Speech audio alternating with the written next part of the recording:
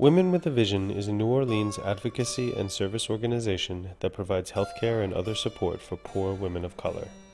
A small organization that has won a national reputation for their work, Women with a Vision was founded in 1991 by a collective of black women as a response to a lack of HIV prevention resources for those women who are most at risk. Poor women, sex workers, women with substance abuse issues, and transgender women. Across the southern United States, organizations and human rights defenders who provide information and counseling on issues related to sexual and reproductive health and which advocate on behalf of sex workers and transgender women often face sharp criticism and are ostracized and attacked. Deon Haywood has been at this work for decades, and yet she remains vigilant about the risks she and her colleagues face, but also determined to continue her work. Our work started out 22 years ago as a HIV prevention and harm reduction agency. Um, I would say in the last eight years since Hurricane Katrina, our work, um, I think, shifted. Not that we stopped doing HIV prevention and harm reduction, we still do that, but after Hurricane Katrina, we noticed that. Um, as much as we know that the criminal justice system targets people unfairly, or uh, the U.S. is full of many um, laws that are designed to supposedly designed to protect people, but they really do more harm than good. Um, so after post Katrina, we started looking at what those laws were, what the policies were, and how they were affecting people um, who really, at the end of the day, what they really needed was supportive services and access to services like substance abuse, housing, mental health, um, job training, those things that are really more um, issues that are linked to poverty than they are a criminal issue.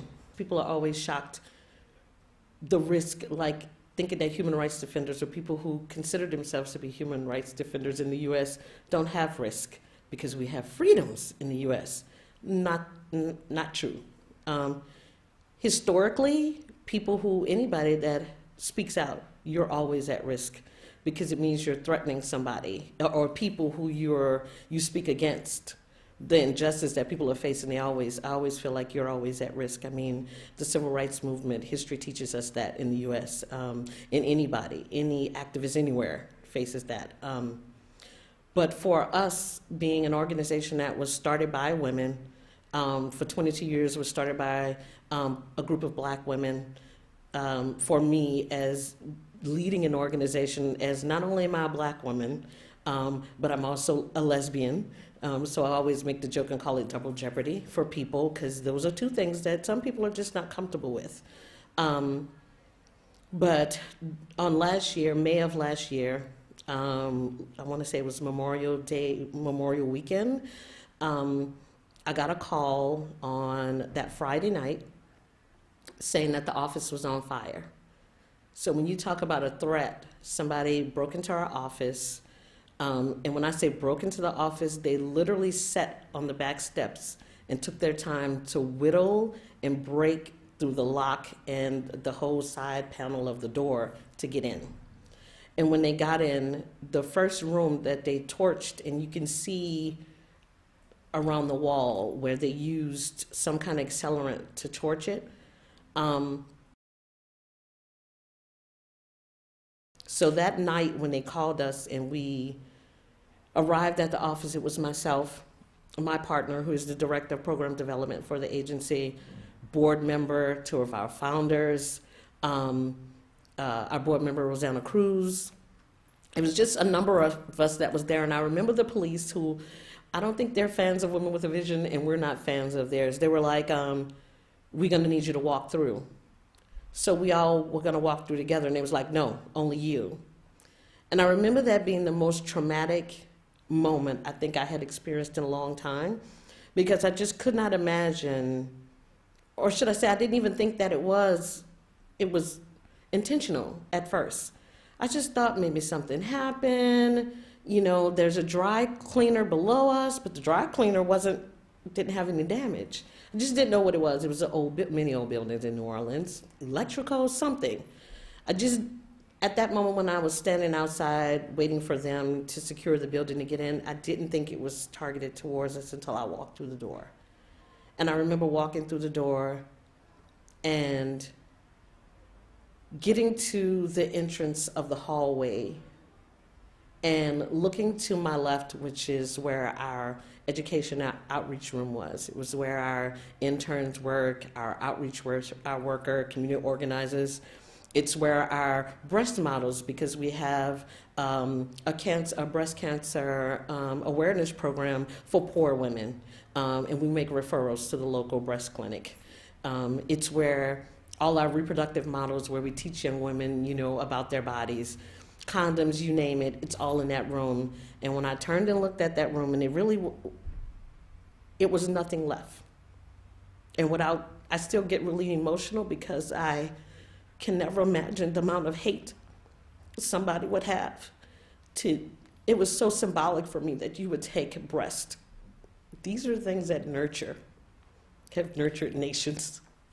So to walk in the office and see that somebody took the time to stack every breast model, every uterus, uh, fallopian tube, every um, education board, that they would take the desk and move it in the middle of the room and stack everything and ignite it, told me that you were trying to send us a message.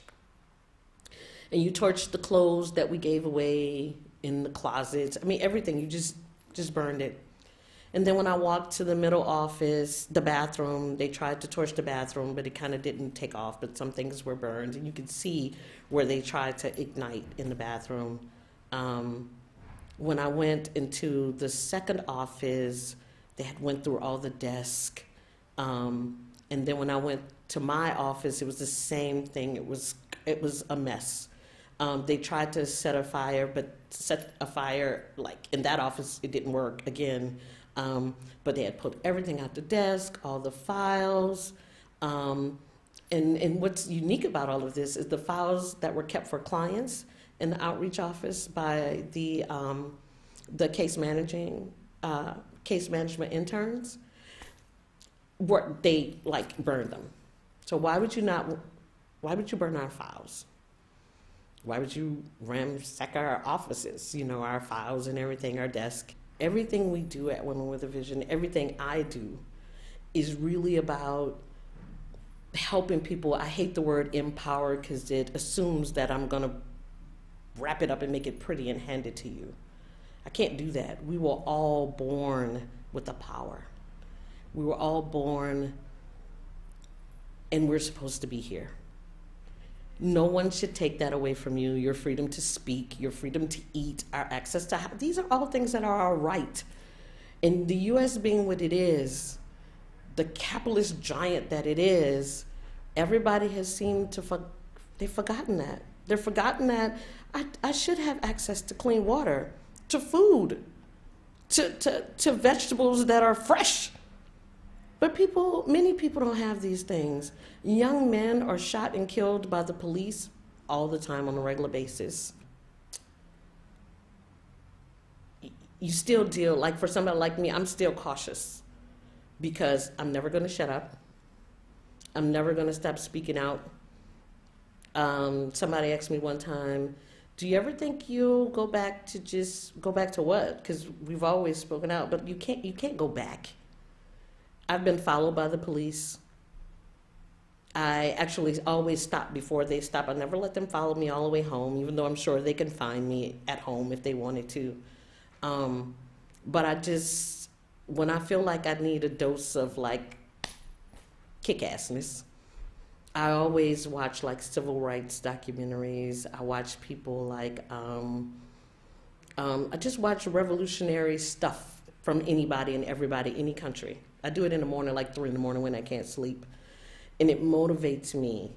And it tells me, like, if you look at, there's been no revolution, there's been no, no movement that the people didn't make a difference, they didn't make a change. And I am going to be a part of that.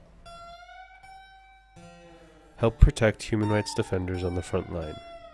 Contribute at www.frontlinedefenders.org/donate. Thank you.